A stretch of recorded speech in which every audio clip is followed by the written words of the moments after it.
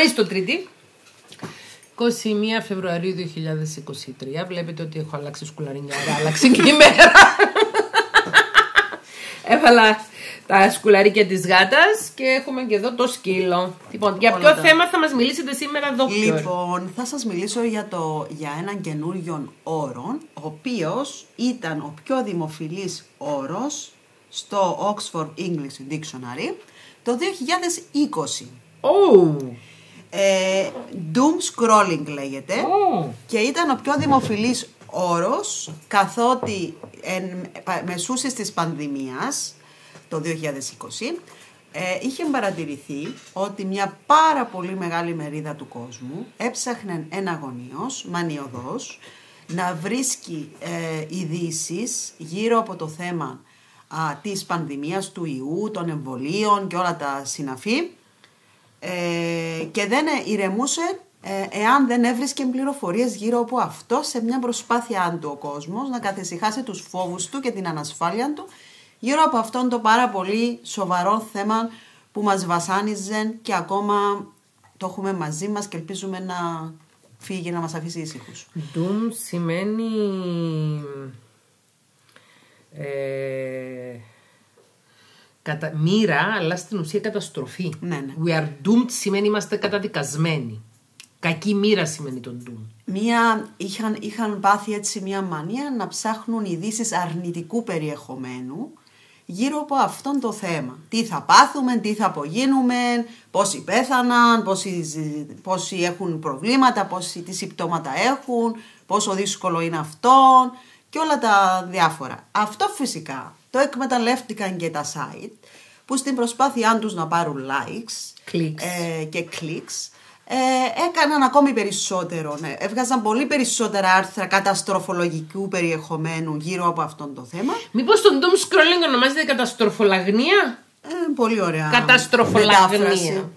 Ε, ε, οπότε, σαν να οθούσαν τον κόσμο α- α- αυτή η υπερπληροφόρηση γύρω από τα αρνητικά που έχει ο ιός, ε, σαν να οθούσαν τον κόσμο να ψάξει ακόμα περισσότερο, ακόμα περισσότερο, ακόμα περισσότερο και επί της ουσίας αυτόν το, αυτόν το φαινόμενο έτσι μεσουρανούσε ε, μέσα στην πανδημία. Ε, και κάποιοι άλλοι ερευνητές ε, προσπάθησαν ως αντεπερισπασμό σε αυτόν το doom scrolling να φτιάξουν το help scrolling. Δηλαδή πώς είναι να ψάχνω εναγωνίως να βρω κάτι θετικό, μια θετική είδηση ε, για να φτιάξω τη μέρα μου. Εκεί που βασανίζομαι και β- βρίσκω πληροφορίες γύρω από το πόσο αρνητικά είναι τα πράγματα και πώς ε, ο κόσμος θα καταστραφεί και σεισμοί, καταποντισμοί, διάφορα τέτοια αρνητικά γεγονότα που γίνονται συνέχεια τα, τα τελευταία χρόνια. Ας ψάξουμε εναγωνίως να βρούμε κάτι θετικό, μια θετική είδηση που θα μας δώσει ελπίδα για το μέλλον, που θα μας κάνει να αισθανθούμε ότι μπορούμε α, να, να δούμε και με μια πιο αισιόδοξη ματιά τα πράγματα και να σταματήσουμε να καταστροφολογούμε και να βλέπουμε παντού εχθρούς ε, και κακά πράγματα που θα έρθουν στην καταστροφή της ανθρωπότητας και τα συναφή. Και έτσι ήτανε, είναι πολύ ενδιαφέρον αυτό. Ε, αυτή η ατέρμονη αναζήτηση αρνητικών ειδήσεων πιστεύω ότι έχει πάρα πολλοί κόσμος που το έχει. Εκτός από την είδηση ως επικαιρότητα, ε, που ευτυχώς, ή- ευτυχώς ή δυστυχώς μάλλον η επικαιρότητα πολύ συχνά μας κάνει τη χάρη να μας δείξει τα δόντια της για να συντηρήσουμε το φαινόμενο αυτό. Ε, υπάρχουν άνθρωποι που το κάνουν αυτόν ακόμα και όταν, τους, όταν διαγνωστούν με κάτι ή όταν δουν κάποιον Α, α, σύμπτωμα πάνω ναι, τους. ναι, ναι. Το scroll σημαίνει ψάχνω στο διαδίκτυο. Ναι, ναι, ναι. Ήταν συνεχώς με έναν κινητό στο χέρι, οι περισσότεροι, όπου ακόμα και, τις ε, νύχ- ακόμα και το βράδυ πριν κοιμηθούν, το, το τελευταίο πράγμα πριν να κοιμηθούν, ήταν να ψάξουν την τελευταία αρνητική είδηση της ημέρας και μετά να κοιμηθούν. Οπότε αντιλαμβάνεστε και την ποιότητα του ύπνου τους και μ, πολλές φορές όταν διαβάζουμε πάρα πολλά πράγματα αμφιβόλου ποιότητος, που έχουν ως σκοπό επί της ουσίας να ταΐσουν την τάση μας αυτή για αρνητική είδηση, ε, μ, ε, σαν να τα προκαλούμε και στον εαυτό μας. Ε, σαν δηλαδή όταν έρθει κάποιο σύμπτωμα να το βιώνουμε ακόμα πιο αρνητικά, γιατί υπάρχει μέσα και ο φόβος. Και ο φόβος ταΐζει το σύμπτωμα και το σύμπτωμα μεγαλώνει. Και έτσι γίνεται ένας φαύλος κύκλος. Ε, αν λοιπόν αναγνωρίζει κάποιος τον εαυτόν τους σε αυτόν και συνήθως λέω ότι αυτό γίνεται π.χ.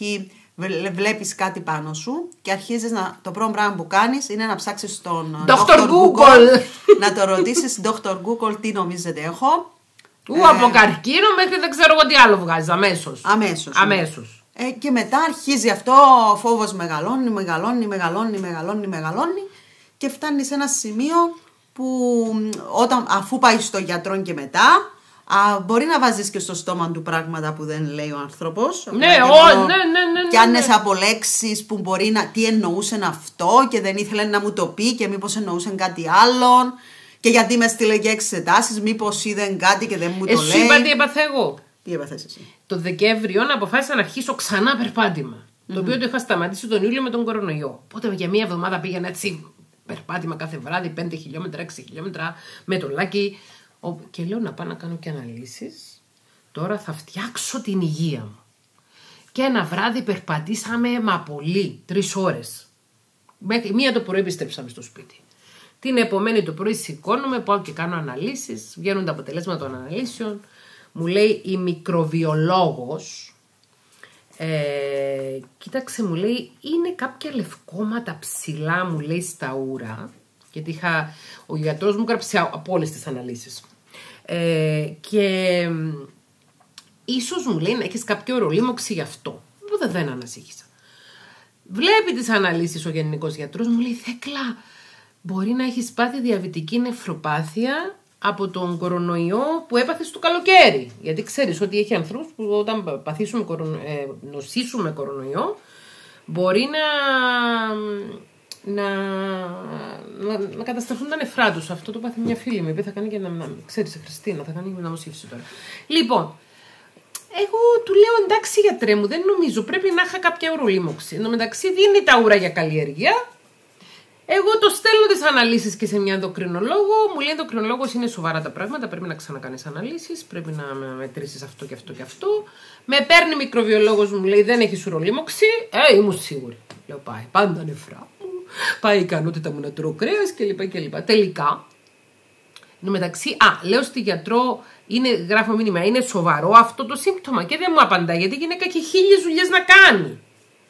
Όχι, η ενδοκρινολόγος μου είπε δεν μπορώ να σου πω τώρα, πρέπει να κάνεις και άλλες αναλύσεις. Εγώ αυτό το πήρα ότι α, καταστράφηκα.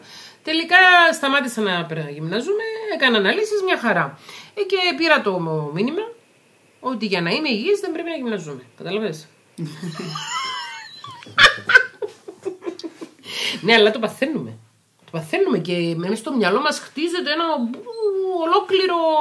Κοίτα, υπερβολη... ε, ε, γυμναζόσουν υπερβολικά; Ε, ναι, κορυμπία τρεις... Κοίταξε, ένα, μια σωματάρα που από 87 κιλά, 85 που ήταν πέρσι, έχει φτάσει στα 95.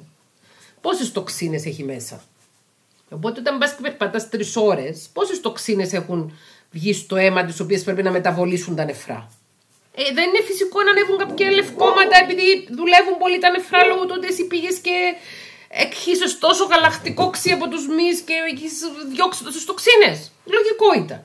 Και μετά μου είπε να το ξέρετε αυτό, θα κάνετε αναλύσεις ούρων, ειδικά ούρων που τα λευκόματα φαίνονται στα ούρα, δεν πρέπει να κάνετε γυμναστική 48 ώρες πριν. Μμμ.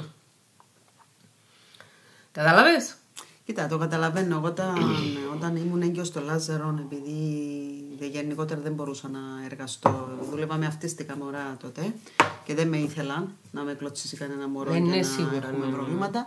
Τέλος πάντων, τι έκανα, ξύπνωσα το πρωί, έπαιρνα γύρω στα 15 χιλιόμετρα περπάτημα. Διέσχιζα Έγκυος τώρα. όλη την πόλη Έγκυος τώρα. και μετά ξανά πίσω. Λοιπόν, Και δείχνουν αναλύσεις σου φανταζούμε. ε, οι αναλύσεις μου είχαν τρελάνει όλους τους γιατρούς, δεν καταλάβαινε κανένας τι έχω και μετά γενικά, ε, γέννησα και ε, φυσικά και πρόωρα. Επειδή Ε, περπατούσες. ναι. Πόσο γιατί, πρόωρα; Ε, περίπου τρεις εβδομάδες πριν. Ου καλά, και εγώ γέννησα τρεις εβδομάδες πρόωρα. Αλλά εσύ δεν γέννησα τρεις εβδομάδες πρόωρα, παιδί 56 πόντους και 4 κιλά και 200 γραμμάρια. Εγώ ναι. ήταν Α, μωρούι πολύ. Εμένα ήταν τόσο. Αφού τον έφερε η, νοσοκο... η ΜΕΑ την άλλη ημέρα, κρατούσε τον Λάζαρο για ένα φυσιολογικό μωρό. Τα πόδια του Λάζαρου ήταν μέχρι τη μέση της γάμπα του φυσιολογικού μωρού στη μέση της. Λόγω του διαβητική που είχε μεγαλώσει. Ναι. Ναι, ναι. Γενικότερα όταν ε, τον, ε, τον ε, οργανισμό σου του ασκείς πίεση... Ναι, ναι. Ε, οπότε εγώ τώρα ανοίγω το, το, το, την εξώπορτα κατά τη μία το πρωί και πάει αυτό το καλό σκυλάκι για περίπου 17 λεπτά, τρέχει και έρχεται. Έρχεται. Οι άλλοι έχουν πρόβλημα τα σκυλάκια του φεύγουν, το δικό μα έχουμε πρόβλημα ότι έρχεται. Ναι. έρχεται. Ε, πάνε, κομμένα τα περπατήματα. Λίγο περπάτημα νομίζω. Ναι, κόρη βοηθάνε, ναι, ναι, ναι, το ξέρω. Άλλοι εγώ, αφού ούτε είμαι τεμπέλα. Αφορμή γύρευα. Λάκι λε.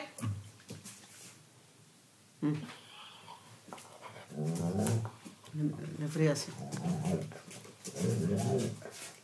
Οκ. Γίτσε, δελάκι μου. Αυτά. Οπότε. Άρα σταματάτε το doom scrolling και εγώ έχω να εισηγηθώ ότι υπάρχει μια ιστοσελίδα που ονομάζεται Emotions GR που είναι η μοναδική, η πρώτη ιστοσελίδα στην Ελλάδα με ειδήσεις θετικού περιεχομένου. Να μπαίνετε στο Emotions GR να διαβάζετε. Κάθε μέρα. Κάθε μέρα. Emotions.gr Μία θετική είδηση τη μέρα. Έχει πολλές. Κομμένα τα δελτία ειδήσεων. Κομμένα. Άστους, άστους. Μα χέρι. Άστους, αυτούς δεν μας... Τα ίδια πράγματα. Βασικά γίνονται, απλά συνεχίζεται. Εγώ εισηγούμε, αν κάποιος θέλει να είναι ενημερωμένος όσον αφορά στις ειδήσει, να διαβάζει τους τίτλους ειδήσεων στο διαδίκτυο. Και αν δει κάποια είδηση η οποία πρέπει, είναι ενδιαφέρον να διαβάσει περισσότερο, να διαβάσει, ξέρω εγώ, ένα άρθρο που θα το, κάνει, θα το διαβάσει και γρήγορα και θα απασχολήσει το μυαλό του ένα-δύο λεπτά, παρά να καθίσει να ακούσει τις ειδήσεις που είναι μια ώρα, πόσο είναι και συνεχώς. Και λένε τα ίδια και τα ίδια και γενικότερα είναι και βαρετές. Οπότε καλύτερα. Έχει κόσμο που ζει για τις ειδήσεις. Το ξέρω. Είναι του το Χατζη Νικολάου. Του Χατζη Νικολάου. Το Χατζη Νικολάου στην Ελλάδα. Ναι, ναι, το ξέρω τον Το Χατζη Νικολάου στο virtual studio, να το δει μες στους τάφους, να το δει από εδώ, να το δει από Αυτός, εκεί. αυτός είναι ο άλλος, βρε, ο, ο Ευαγγελάτος. Ο Ευαγγελάτος. Με ναι. τα εφέ που βάζει κάτι τάφους, κάτι... Augmented reality. Ναι. ναι, ναι. Την Τατιάνα. Αυτά. Έτσι, να βλέπουν έτσι. Ναι, ναι, έχεις δίκιο. Ε, Περιπτώνει να σας πω ότι μία φορά, το 11 ήταν ο, ο Ευαγγελάτος στην Κύπρο και παρουσίαζε τις, ε, Εκλογές. τις εκλογές και πήγα εγώ και του λέω κύριε Χατζηνικολάου Ε, θα, φέρουμε, ε, θα το φέρουμε και τώρα, ε, ναι. Περίμενε, δεν ξέρω. κύριε Χατζηνικολάου, ξέρω ότι ξαδέρφια σας Το είναι- Χατζη Νικολάου ήταν Ευαγγελάτο. Είπα στον Ευαγγελάτο κύριε Χατζηνικολάου. Και έμεινε και με κοιτούσε. Του λέω, ξέρω το ξάδερφο σας, το Μητροπολίτη Μεσογείας και Λευρωτική. Το Χατζη Νικολάου θα εννοείται, μου είπε η κυρία μου. Λέω, δεν είστε εσείς, όχι, εγώ είμαι Ευαγγελάτος. Α, ευχαριστώ. Το 2011 είχε γίνει αυτό. Δεν πειράζει, του έκαμε έτσι μια... Του βάλες... ε, Μα πόσο είναι αδύνατο δύο ο πάνω. Ευαγγελάτος, πολύ αδύνατος. Πάρα πολλά. Ναι. Πάρα πολλά. Ε, με, Μοντέλο. με τόσα αρνητικά που λέει όλη μέρα δεν του μένει. Δεν ξέρω. Το 11 ήταν πολύ αδύνατος. Δεν ξέρω τώρα πώς είναι. Το 11 ήταν πάρα πολύ αδύνατος. Οκ. Τέλος πάντων. Εγώ διαβάζω το Twitter, το ελληνικό Twitter. Έχει και πολύ hate tweets μέσα, αλλά έχει και πολύ αστεία tweets. Εγώ Ε, διαβάζω κάνω- πάντα τα σχόλια κάτω από, τε- από τα άρθρα. Μ' αρέσουν πάρα πολύ, ειδικά τα κυπριακά.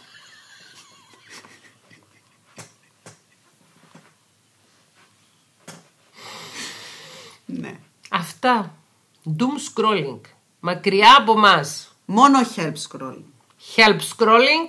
Ναι στο help scrolling, όχι στο doom scroll- scrolling. Και ξαναλέμε help scrolling είναι να διαβάζουμε άρθρα αυτοβοήθειας, άρθρα ψυχολογίας, ψυχοεκπαιδευτικά βίντεο και τέτοια.